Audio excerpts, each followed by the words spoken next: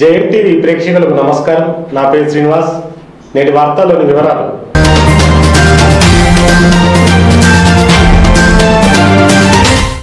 తాను టీఆర్ఎస్లో చేరుతున్నాడన్న మీడియా కథనాలను టీడీపీ జనగామ జిల్లా అధ్యక్షుడు బొట్ల శ్రీనివాస్ ఖండించారు. శ్రీనివాస్ జేఎన్టీవీతో మాట్లాడుతూ టీడీపీని వీడే ప్రసక్తే లేదని ఎప్పటికీ టీడీపీలోనే కొనసాగుతానని తెలిపారు.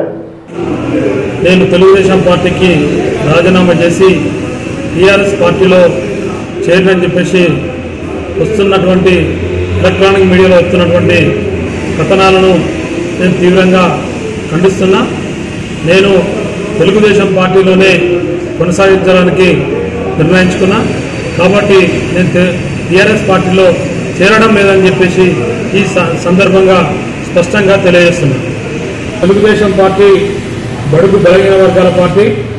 తెలుగుదేశం పార్టీ ఆవిర్భవించిన తర్వాతనే ఈ రాష్ట్రంలో ఎస్సీలకు ఎస్టీలకు బీసీలకు మైనార్టీలకు పేదవాళ్ళందరికీ కూడా రాజకీయంగా అవకాశం కల్పించినటువంటి పార్టీ.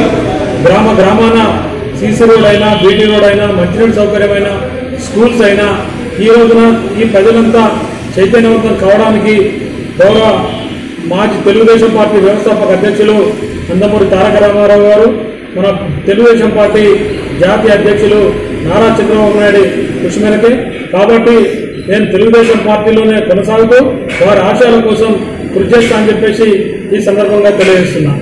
జనగామ రైల్వే స్టేషన్ ప్రభుత్వ పాఠశాల ఆవరణలో కొత్తగా నిర్మించిన జూనియర్ కళాశాల భవనానికి మధ్య నిబంధనలకు విరుద్ధంగా అడ్డుగోడ నిర్మిస్తున్న కాంట్రాక్టర్పై సంబంధిత అధికారులు చర్యలు తీసుకోవాలని పాఠశాల పరిరక్షణ కమిటీ కార్యదర్శి సాదిక్ అలీ డిమాండ్ చేశారు.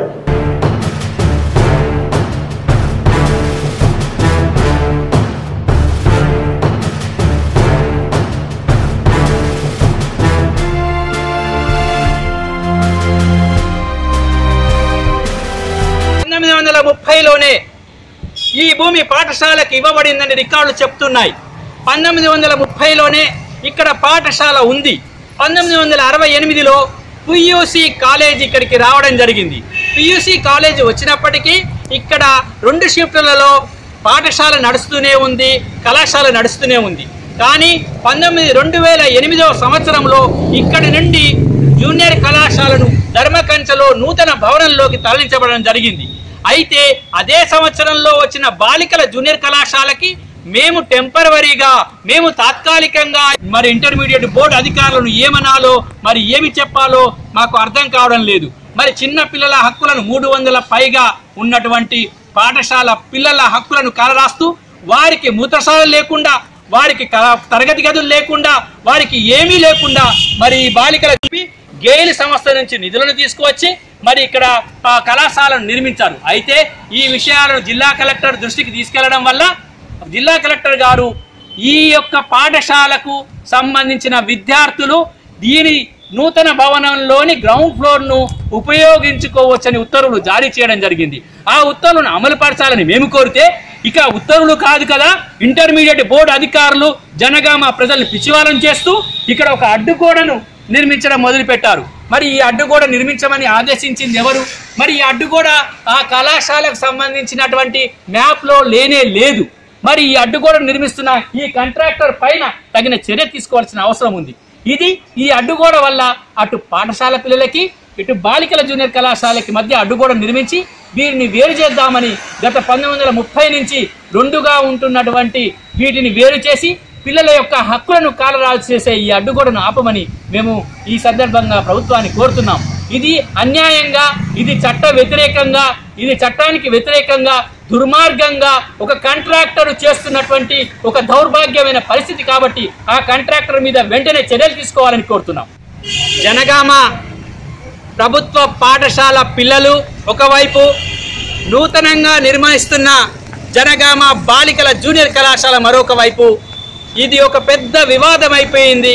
మూడు వందల మంది పాఠశాల పిల్లల హక్కులను కాలదాస్తున్నటువంటి జనగామ బాలికల జూనియర్ కళాశాల భవనము ఈ గోడను ఎంత వ్యతిరేకిస్తున్నప్పటికీ మరి వీరి మధ్య అడ్డుగోడలు నిర్మిస్తున్నటువంటి మరి ఇంటర్మీడియట్ బోర్డు అధికారులపైన తక్షణ చర్యలు తీసుకోవాలని కోరుతున్నాం. ఈ భవనం స్టార్ట్ చేసినప్పటి నుంచి స్కూల్ పిల్లలకి చాలా అన్యాయం జరుగుతుంది సార్. ఇప్పటికి యుద్ధంలాగా మేము ఆఫీసుల పంట తిరుగుతున్నాం వీళ్ళకి చెప్తున్నాం వాళ్ళకి చెప్తున్నాం.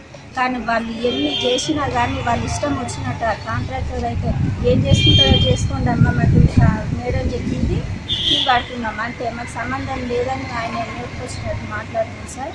అసలు అది పిల్లలకు చాలా అన్యాయం జరిగిపోతుంది. ఎన్ని తరగతులు కూలగొట్టి వాళ్ళు భవనం కట్టుకుంటారు సార్. పిల్లలకు టాయిలెట్స్ లేవు గ్రౌండ్స్ లేవు వంటగది లేదు ఆఫీస్ రూమ్ లేవు వాళ్ళకి లైబ్రరీ అది లేవు అన్నీ మా పిల్లలకు అన్యాయం చేసి వాళ్ళు కాలేజీ కట్టుకొని ఇప్పుడు మరి మా పిల్లలు వాళ్ళకి పోకుండా మా పిల్లలకు అసలు వాళ్ళు అడుగు పెట్టే అర్హత కూడా లేదని చెప్పుకొని వాళ్ళు ఇష్టం వచ్చినట్టు అడ్డు కూడా పెట్టుకొని మా పిల్లలకు అన్యాయం చేస్తుంది సార్. మేము కలెక్టర్కు కలెక్టర్ ఆఫీస్ పోయినా ఎంఆర్ ఆఫీస్ పోయినా అన్నిటి అందరికీ అప్లికేషన్ పెట్టినా సార్. మాకు ఇంకోళ్ళు ఇస్తా అని చెప్పింది సార్ వాళ్ళు. చెప్పినా కానీ మళ్ళీ వాళ్ళు రివర్స్గా మళ్ళీ వాళ్ళు అప్లికేషన్ పెట్టి మీకు ఇయ్యము. మీరు మొత్తం మా అడుగు వీళ్ళకి అడిగే పెట్టద్దన్నట్టుగా దేశం పెంచుకున్నట్టుగా ఒక పాలను పగలాగా చేసుకొని మా పిల్లలకు అన్యాయం చేస్తుంది సార్. మేము వాళ్ళు కలెక్టర్ చెప్పినట్టుగా మాకు గోడ తీసేసి మా క్లినిక్ అంతా ఇచ్చేస్తే మా పిల్లలకు ఎన్ని తరగతి గదులు ఉంటాయి ఆ ఆఫీస్ రూమ్ ఉంటుంది పిల్లలకు అది కంప్యూటర్ క్లాస్ ఉంటుంది. ఇవన్నీ వాళ్ళ జీవితం దెబ్బతీసినట్టే ఉంది తప్ప ఈ కాలేజీ వల్ల ఉపయోగం ఏంటి హోలీ పండుగ సందర్భంగా నర్మడ పోలీస్ స్టేషన్లో సిఐ సంపత్ కుమార్ ఆధ్వర్యంలో పోలీసులు హోలీ సంబరాలు జరుపుకున్నారు. సంబరాల్లో నర్మడ ఎస్ఐ పరమేశ్వర్ తరిగుపుల ఎస్ఐ భరత్ తదితరులు పాల్గొన్నారు.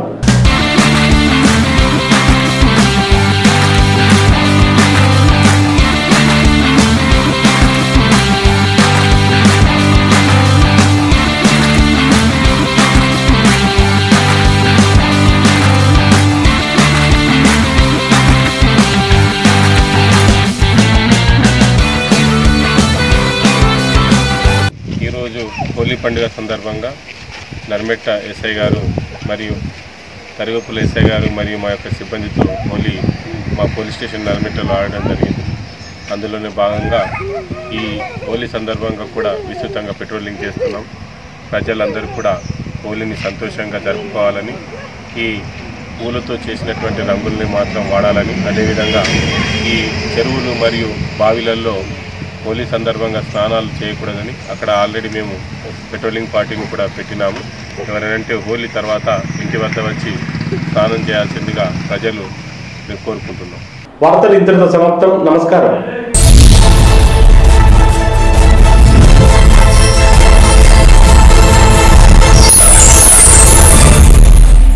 Hi!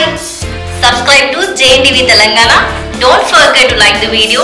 and to get the notification of a video, hit the bell icon.